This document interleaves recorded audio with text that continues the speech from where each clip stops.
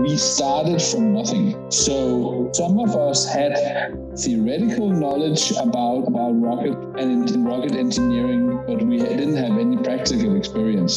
So we started from, from nothing and we started the project with the idea of how can we build rockets that are just good enough. We don't want to make them super light or super efficient or uh, super high performance or anything. We just wanted to build them just good enough every time we do something. It is only a failure if, if you don't learn from it.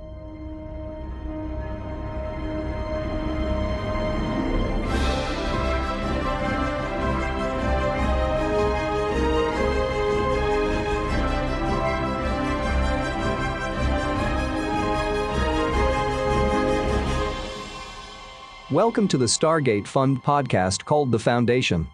Your host is Joseph Conrad, founder of the Stargate Fund, which is a non-profit organization focused on support and development forward-thinking projects that would benefit future generations in the next 100, 500 and 1000 years. The Foundation podcast is where we talk with tech founders, investors and scientists about long-term thinking, impact investing and crazy ideas to overcome the pathological short-termism of the modern world.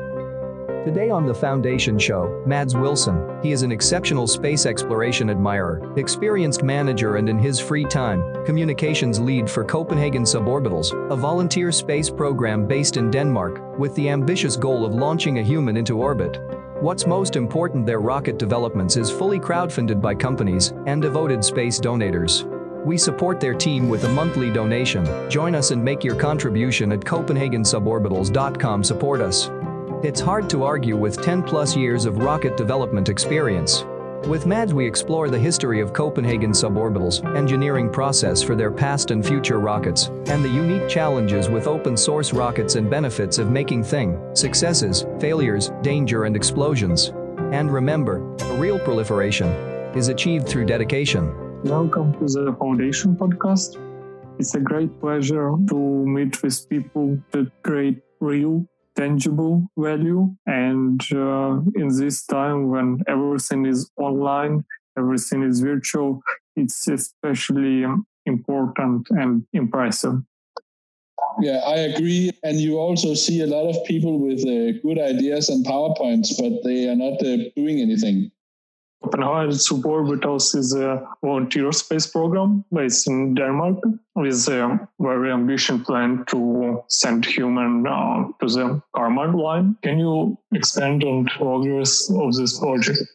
It's important for, for, for everyone following our project to understand that we started from nothing. So some of us had theoretical knowledge about about rocket and in, rocket engineering, but we didn't have any practical experience. So we started from from nothing, and we started the project with the idea of how can we build rockets that are just good enough we don't want to make them super light or super efficient or uh, super high performance or anything. We just wanted to build them just good enough and in a way where they can be manufactured with, with tools that are normally available. That is also why, for example, most for most of the machines we our rockets we're building, we are we're using plain plain steel or stainless steel, and we know that that will make the rocket heavy. I mean, today in the small in the small uh, CubeSat launcher industry there's a lot of new companies popping up, and they are all building rockets out of uh, carbon fiber and and God knows what. That is ex- very expensive compared to just building it, it out of steel, and it makes sense to do it if you want to build a commercially a commercial rocket launcher that can compete on com- commercial terms but we are not interested in that. We are not interested in competing on commercial terms. We're just interested in seeing how can we build something that is good enough and how can we build it as cheap as possible. We have le- learned something every time. So even for the missions that were unsuccessful. For example, Nexø One, for those of you who, uh, who don't know what that is, our not, not the last, but the, the second last uh, rocket we launched. And there was a, a software error, among other things, that uh, meant that the, the, the, parachute didn't come out. The, the engine stopped too early and the parachute didn't come out. So the rocket just came down and, and basically was destroyed. But even though that was a unsuccessful launch in terms of that we, we didn't succeed with the with the mission plan, we learned a lot of things. And that is that is just as important as, as all the other things we're doing. Every time we do something, it is only a failure if if you don't learn from it. So uh, so we had a, a successful, completely successful launch two years ago with the Nexø 2 rocket, and uh, and all the learnings from that mission is what we're using now to build the uh, the first full size Spica rocket, which will be about 16, 17 meters tall and uh, 90 centimeters in diameter. And we will not send the man up in the first uh, rocket, obviously, but it is that kind of rocket that will uh, that will uh, hopefully uh, send a, a, human over the Kármán line. I see that every failure, as you as you said, uh, it's uh, some kind of success uh, from the point of useful data that you yeah. receive. Uh, but also, it's uh, do you think that exactly this success failure can lead you to more profound results, commercial I think I think it's a diff, it's it is a different way of working the same problem because because um, in a in a no let, let me start somewhere else. The biggest difference between difference between us and the commercial companies is that we don't really have any money and we don't have any investors that are putting money into the program. Normally, when you do something like this, you would set an end goal and say, uh, "This is this is what we need to do. Uh, this will approximately cost this much money, and we know that we need to test test it this many times before we can have a successful launch." And then you calculate uh, then you calculate backwards how much that would cost, and then that is your that is your budget. We work the other way around. We have a very small budget, and our budget is based on the money that we can that we can raise every month. Uh, and again, for those of you that don't know, Copenhagen Suborbitals is a, um, a crowd-funded project, which means that we have support members from all over the world that are paying a little bit of money every month to uh, to help us do what we do. Uh, we also do lectures and, and, and stuff like that to earn money, but but mostly it is from all our supporters all, all over the world. So we have a very very limited budget. So instead of working backwards, we need to see we need every every month we need to say okay what how money how, how much money do we have this much this month so what can we what can we test and what can we build this month when all our other expenses are paid? I mean rent and all that. So so it is a, it's a different way of of uh, of, uh, of working the same problem in terms of in terms of developing technology. I would much rather have a bigger budget so that it would be possible, for example, to say, okay, let's build four Nexø class rockets so that we have enough to test so that we know that number four will be successful. But but we we simply don't we don't have that. So we need to we need to come up with all other kinds of tests uh, of test strategies that we can to to make the most of uh, of the money we, we have.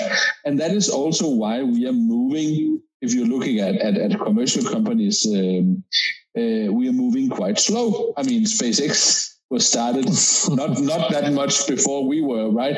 And they are, but the kind of money they had available is in a whole other scale, right? So so so so there's no no question about that. I would rather have more money so that build things uh, faster and that we could that we could build more more specimens of the same piece of technology to to test it. But in terms of of of the way we are structured, it doesn't really make sense because I mean, over the years we have talked to we have talked to a lot of different people. I, I remember back when when uh, Felix Baumgartner was uh, was to do the um, the uh, the stratosphere jump. I know that that we had, had we had some talks with the Red Bull back then. Before that, because they they they maybe wanted to do something with us, and we have had similar talks with with other people over the years. But but the biggest problem with those kind of uh, of arrangements is that as soon as you are doing something uh, with a brand or with a company then they need to have something in return. In terms of the red bull example for example what they got in return from the Felix Baumgartner jump, that was uh, of course, the um, the marketing value. It was mm-hmm. pure ad- pure advertising for, for Red Bull, right? If if it was a private investor, I mean, a, a, a venture capitalist or whatever, he uh, he would maybe invest some money, and then he would expect to get uh, some shares in the company, and then at some point he would expect a return of investment. We cannot provide that because if we were to to do something as a marketing event for a big company, then it wouldn't be our project anymore. Then we would be working for a project manager in a software company or what, I, what do I know, working from their agenda. And then for us, the fun goes out of the project. So, so every time, every time I talk about this, I usually I, I say that the, the best scenario for us would be if someone with a lot of money came along and said, I have some money and I will give them to you to do what you do. And I would say, I'm very grateful and I will ensure you that the money you give us will be wasted in a very good way. because, but, but, but, but, but that being said, even though we are not building a rocket launcher, uh, sorry, a satellite launcher that will make money someday, there's not anything wrong with the idea that it could create technological spin-offs, for example example, along the way. Uh, right now, as a side project, we have we have been working on a um, and a, a, turbo pump for the uh, for the Spica engine. It, it, it's not the it is not the um, it's not the plan that the, the the first version of the Spica uh, will run with a turbo pump, but we have had some guys working uh, working on that for, for a few years, and uh, and we uh, we had a PhD student uh, from Norway called Ivan, who uh, who worked for us for some months on that while he was doing his PhD thesis, and that has actually resulted now in in, a company that is based in, in Norway and, and, and Germany that used the work that Ivan, Ivan and some of our guys did on turbo pumps to to create a, a, startup company that is building commercially uh, viable uh, turbo pumps for small rocket engines. But so also, he, he, he gave you one of these pumps, right? Yes, yes, yes. Because mm-hmm. uh, because we are then working closely with him to uh, to test the pump, and then the, the, the payment, if you can say so, that we are getting for our work is is the first version of uh, of the turbo pump. I like this community of open source people that yeah. share, for example, uh, code or uh, some shares of their hardware that provides value, recognized less than this PR and marketing stars. Do you consider some commercialization of your results, or you probably create some, for example, site portal where uh, you upload all your data and you will give this for other generation who tries the same as you if you will uh, consider uh, another project. Yeah um, and that it is very interesting. Uh, it's a very interesting question actually and the uh, the answer is as as all the other answers quite long. Um, when we started the project the intent was to make it a fully open source project where where where everyone could uh, could participate and where we could share everything with everyone. But we very quickly realized or we were told and then we realized that there is a problem with open source when you're building rockets. Because rockets are not just used for peaceful purposes.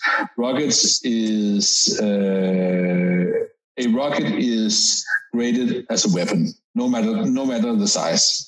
So so uh, there is international rules that say, that, that that prevents us from sharing details. I don't know if if you or any of the listeners is uh, is um, is uh, familiar with the the American uh, ITAR, which is a regulation about mm-hmm. the the anti-spreading of uh, of uh, weapons of mass destruction uh, technology, and, and and all other countries in the world have the same kind of of, of regulations. Uh, so, so, and that is that is that is why that when you're seeing on, on our YouTube channel on our website, when you see the work we do, we don't share anything uh, that can be replicated directly. We can tell you about how it works and we can show it, but we we cannot share anything that can be re- replicated directly, even if we wanted to. I mean, personally, I would love that another that another group in another country could do could do what we do and, and further develop our, our technology. I would also, I mean, there are so many, there are so many really, really talented uh, engineers and designers and, and programmers all over the world that could participate in some of the stuff we're doing. But unfortunately, uh, I mean, some of some of the things uh, would be possible. I mean, it would not be it would not be uh, impossible for to have someone to to help code our website, for example. But everything that has to do with the rocket itself, uh, we just we can't do that. You you need to you need to work on site at our facility and have some sort of security clearance. No, I'm I'm not talking about security clearance in uh, in in in the uh, in the normal sense, but but but we need we need to know how, who who people are if you if you know what I mean. Uh, and this is simply because it's a it's a it's a, it's a legal requirement. Uh, and I think personally, I think it's a I, I think it's it's it's it's sad because we could get so much further if people from all over the world could participate. But on the other hand, I fully understand the um, the uh, the the rationale in it, and I fully understand that you. I mean, it it, it wouldn't take long if if if uh, if all the plans for a rocket were available, then it wouldn't take long for someone to build a rocket or at least have, have a very good head start in building a rocket. Uh, someone that we didn't want to build a rocket that would use it use it for malicious purpose. And of, of course, we don't want that. Oh, I explored your site and YouTube, saw something about almost uh, finished Groot uh, space capsule. Yeah, yeah, yeah. We are working in, in, in different teams right now. We have one team that is working on this the, the, the capsule uh, uh the capsule prototype. The first uh, capsule prototype uh, is not it's not a, a, flying version. It is simply just a prototype that is that is suspended in a in a static rig in the workshop where they are working on on building seats and building uh, building uh, instrumentation and testing parachute, all that stuff to develop the space capsule. And the reason why we are only at the the mock-up stage on that one is that the first the first Spica rocket will not fly with a capsule. The first Spica rocket will just fly with a with a dummy weight. Uh, basically, you could we could we could put a we could put a capsule and, and put 300 kilos of, of rock inside it. We just we just need something that, that resembles a capsule for the first flight obviously we need parachutes, but other than that, we don't need anything else. Uh, and then we have uh, we have the, the, the propellant tanks are coming along nicely. We have one tank that is very close to being assembled, and and another one is is uh, coming along. One of the reasons why uh, that it has taken so long to build those tanks is that again to save money we had to build tools first to produce the tanks so we have spent a lot of time developing uh, tools that could enable us to build the tanks out of sheet metal ourselves for example, we have uh, we have a we have a, a, huge plate roller. Then we have built a um, a long a long seam welding machine that is uh, it's kind of a, a, a, welding robot that are designed to weld these very precise uniform long seams in the side of the tanks. And we have also developed a, um, a machine where we can weld the round seams so that, for example, we can put the end caps on the on the tanks, and we have also had to uh, to build a, uh, a CNC uh, guided uh, plasma cutter so that we can cut out all the material, all the bits and pieces we need, so that we can do that ourselves. Uh, laser cutting is is is much more precise and it's it's it's quite cheap, but when we have the laser uh, the, the, the plasma cutter in house then then it's a lot cheaper for us to to do it that way. So we have a, lot of effort has has been put into uh, to developing the, the tools, and we had to do that uh, first. Uh, the uh, the Spica rocket engine is also is also coming along. We have um, just received from uh, from one of our very uh, good uh, sponsors. Uh, a machine uh, company in Germany, they have they have milled a lot of swirler injector elements for us, and they are being tested right now. And the plan is that they the, the swirler elements will be will be tested in a BPM 5 engine. And then once those tests are done, then they will be transferred over to a uh, injector plate that will be in the 100 kilonewton, the BPM 100 engine. So that is also coming on uh, nicely. We have also built a very large test stand to test to, to do flow testing on the um, on the engines. Uh, one of the one of the, the really big problems that you encounter when you are building big rockets is precisely that everything needs to be freaking big.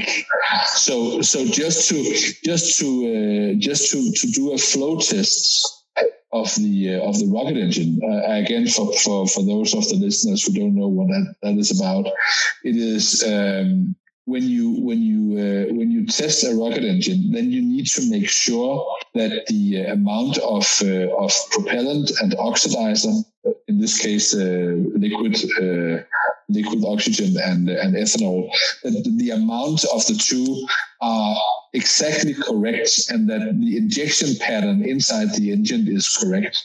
And the way you do that is that you you test the injector elements in the engine just with water. You simply just pressurized tanks and, and push water through the tanks, and then you measure how much water is running through the uh, the uh, the two sides of the engine. But but to do that realistically, you need to have a um, you need to have a, a, a full dura- duration or semi full du- duration uh, flow for for example 25 seconds, so that you can see over a long time that that the uh, injection pattern is stable, for example, and when you have a, a, engine that is consuming 50 kilograms of, of propellant per second, then you need very big tanks to hold that.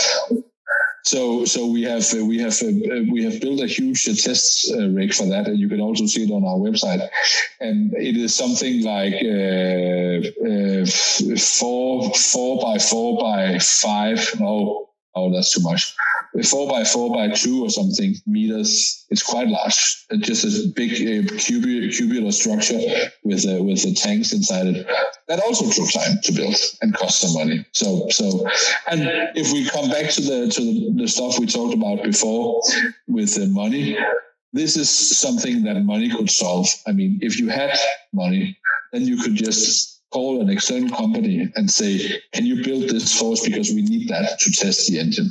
If you don't have money, then you need to do it yourself. I saw a test uh, stand in a con- sea container with yeah. in, engine inside. It's uh, pretty enormous. Uh, have you already tested? Uh, yeah, we have tested the uh, the um, the smaller uh, engines in a uh, in a containerized test stand. Yes, and the reason why we do that is because it is a very easy way to uh, to move the, the, the test stand.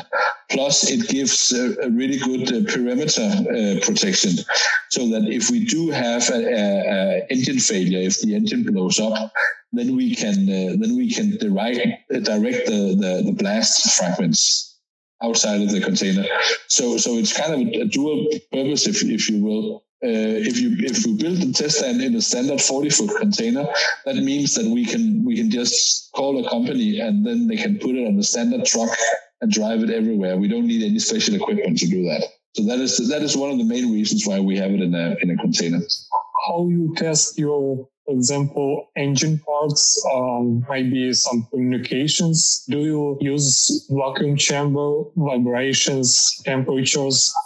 Yeah, uh, for some of it, some of it we do, and some of it we don't. Uh, we have had vibration problems with with uh, with electronics before. the electronics that will be close to the engine is vibration tested. We also do vacuum. We have uh, we have we have bought an old um, old autoclave, uh, a, a, curing chamber uh, for that we use to cure fiberglass we bought that from a from a from a boat shop a few years back, uh, and that can actually be used as a vacuum chamber also. So uh, so we we use that for vacuum, and and for example, we use that to um, to test the uh, the parachute uh, deployment systems, so that we are sure that they work in vacuum and we can also test electronics and, and, and, and engine parts if we need to uh, in, in vacuum that way. So yes, we, we, we test wherever we test wherever ever we can in, in, in whatever way is is uh, is possible to do.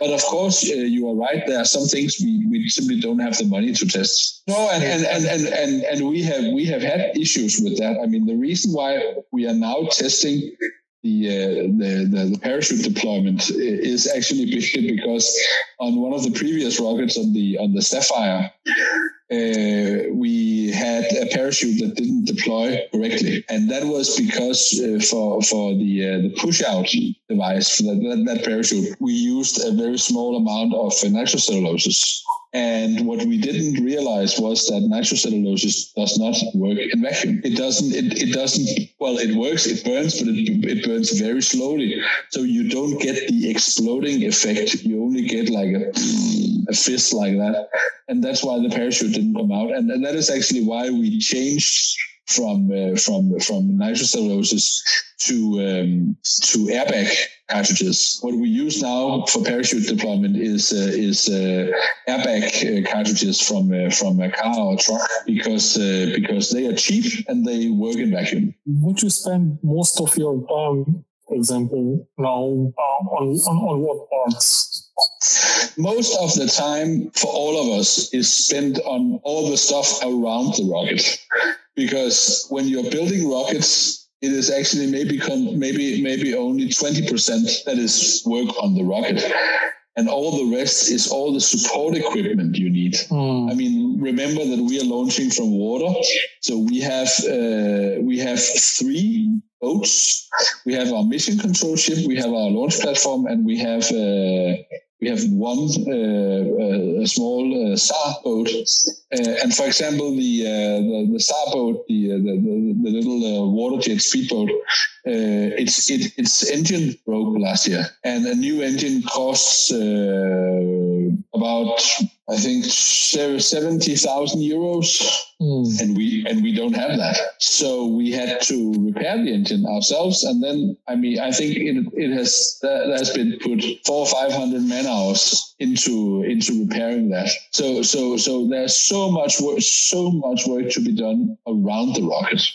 And you mentioned in one of your interviews that most of your equipment in workshops and I think some of the infrastructure donated by your and not only sponsors but supporters yeah. Uh, it, it, different different people. Sometimes uh, sometimes some a, a, private supporter will come along and say hey if my dad had has this machine and he doesn't need it anymore. Do you want it? Uh, but but normally uh, the machines that we have or the tools uh, are from uh, maybe a school who who, who who who bought a new one we we got a, a, a lot of um, a lot of machinery from uh, a, a, technical school in, in, in, Copenhagen that, that closed down one of their sections. And then they had a, lot of good, I mean, old uh, 1960s production machines standing around that were, I mean, they were in very good condition and they didn't need them anymore. So they asked if, if we wanted them. So it, it's typically, typically like, like that. And then we also have some commercial companies who uh, who, who help us by by by donating some of their uh, some of their products, uh, uh, radios, for example, and stuff like that. Very interesting aspect is your team. As every, I think you're already not a startup, uh, but yeah. so, so, so some projects that have unregulated uh, structure, you have some mismatches uh, with um, personal. Just explore with me how you manage inner communications with uh, people. That is also an interesting and difficult question because the way that we are structured is that we have a formal uh, we have a formal board of directors that is elected every year. We have a general assembly every year, and then and then uh, a new board of directors uh, is uh, is elected, and and anyone who is a member of the of the group can uh, enlist uh, as uh, as as wanting to be elected for for the board of directors, and then we all vote, and then whoever gets the most votes will be the in the board for the next year and that the board of directors is is the ones that take the overall principled decisions on what to do and and and handle all our finances and all that. But in terms of project management it is actually a very very flat structure. Normally we say that it is the it's the people who do who gets to uh, to decide. So we have some small groups that are working on different things and then they internally talk about how they should interface with each other. But then it is uh, it is the people within the group that makes the decisions on how things should be developed. So sure. and, and and the reason why the reason why we do that is is because everything in our organization is is and has to be driven by desire desire to work, desire to do something, desire to build, which means that we cannot we cannot we cannot whip anyone as a as an employer would do. We cannot we cannot demand of anyone that they will should work ten hours a day or that they should come in every day. Uh, we cannot punish anyone by firing them or by saying you if you don't do this you will not get get any pay because they don't get any pay. They are only doing it because they want to, and and the only reason you can you can make that work is to make make it possible for people to to have a, a big a degree of freedom uh, for themselves to decide what to do. And can anyone join your team in distance? In distance, no, not in practice. We have had interns uh, from from France and Germany and Romania actually, but uh, but they and Holland, but they have all been people who have moved for a period of time to Copenhagen to work with us in Copenhagen. So if, if you want to join the team, you have to be able to be in Copenhagen. And that is because what I what I said before about uh, about export regulations and, and all that. Uh, it is a little bit easier with people uh, within the European Union uh, mm-hmm. but for, for people outside the European Union, it is it is totally impossible because there are so many there are so many regulations and so many uh, so many uh, red tapes everywhere. It is always uh, it is always possible to visit us. Uh, mm-hmm. We we uh, we arrange normally. I mean now now for the past for the past months during this whole COVID situation we have had we have had to to cancel our, all our tours. But normally normally we have guided tours uh, two two times a week where people where people can can come and uh, and and get a full a full tour of the uh, of the facility. Uh, and sometimes we also uh, we also let, let people come for a few days to to contribute uh, on on something. Um, but but it it it it it, it, it, differs a little bit. So so for so people listening that are not not uh, able to to uh, to come to Copenhagen but want to to support or or to participate, the best way to do that is by watch watching all our videos subscribe to our YouTube channel, visit our website, um, spread the word to, to, to other people so that as many people as possible know what we're doing. And of course, to, to sign up as, uh, as uh, supporters, because even a small donation makes a huge difference. People want to contribute, support, or just see what you're doing. It's very diff. It's very different. Um, it, I, I, guess it depends on who you are. If the, the engineers that, that, that, that come and see us or, or, talk to us, they are of course mostly interested in in all the all the technology and building stuff. Uh, one of the things that we see a lot is that, as as you mentioned earlier when we talked, uh, that a lot of engineers today are sitting at a desk at their computer and drawing things in a 3D program and not building anything.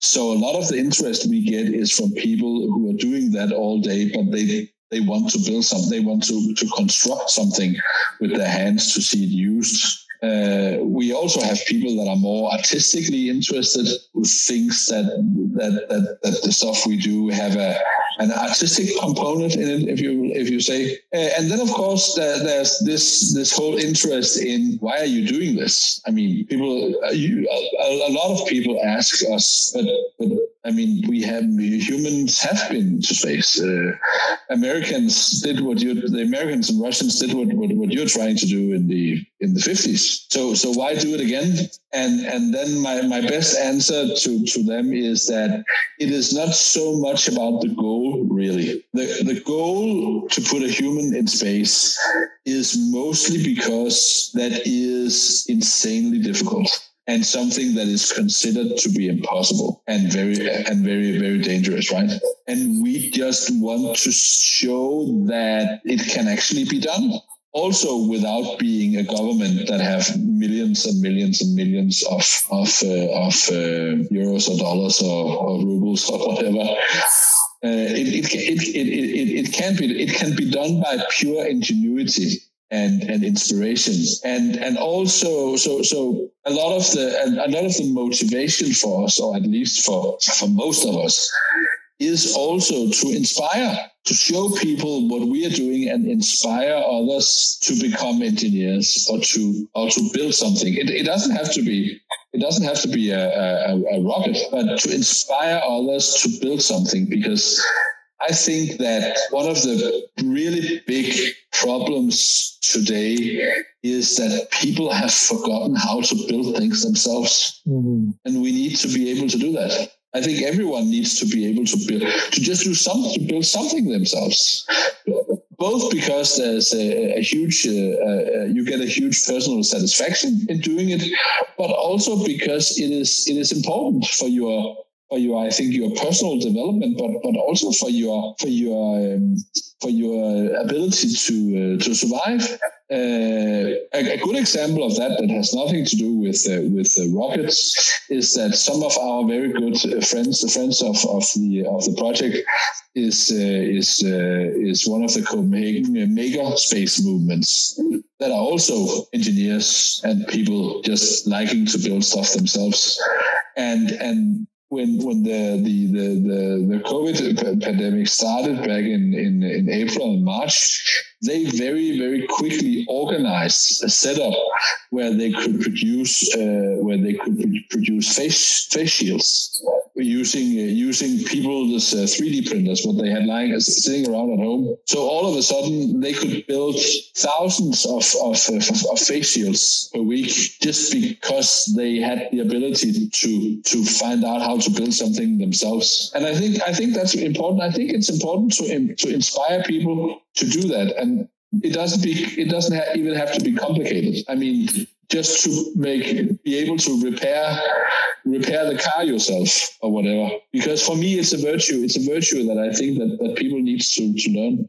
Not not not not specifically not specifically the car, but but the ability to to uh, to do things yourself. I just seen this, this space uh, topic and and research and deep involvement in this activity could provide, as we write, 100, 500, 1000 year um, results. Yeah. Would we, uh, what we could do to make people think more long term and maybe do things long term? Yeah, I think that is a very, very good uh, point, and I think it's it's extremely important because because what what we are seeing today is exactly the opposite. We are seeing uh, companies and and uh, and investors uh, working on things that has to pay off within a few years, and if it doesn't, then then they don't they they, they are not interested. Uh, and we need we need the long term development. We need we need to to to the uh, yeah, the basic research so to speak. We need we need all the stuff that that doesn't pay off here and now, and maybe it will never pay off. But but but interesting learnings will come along the way, and we I, I agree. We really really really need that. Mm-hmm. A few words about your astronauts.